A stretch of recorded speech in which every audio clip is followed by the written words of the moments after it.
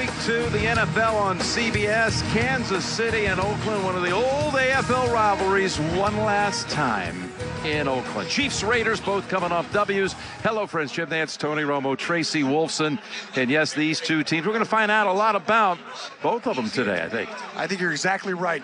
The excitement here, though, from Oakland, Oakland's win last week, I mean, it's palpable. You can feel it. it was energetic. It was a playoff atmosphere. You're going to see that again today, especially with the rivalry against the Chiefs. Patrick Mahomes has uh, been sensational in the month of September.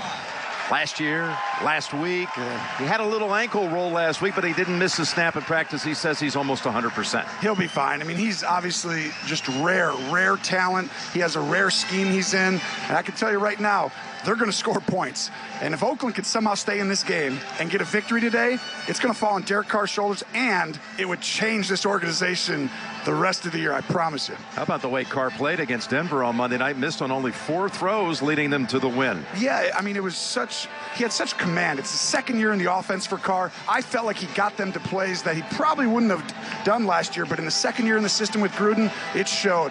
He needs to play great today, though, for them to win, Jim. Well, Kansas City and Oakland. So much history in this rivalry. And again, one last time, we'll meet here in Oakland. Yep, think of names like Stram and Madden, on and on.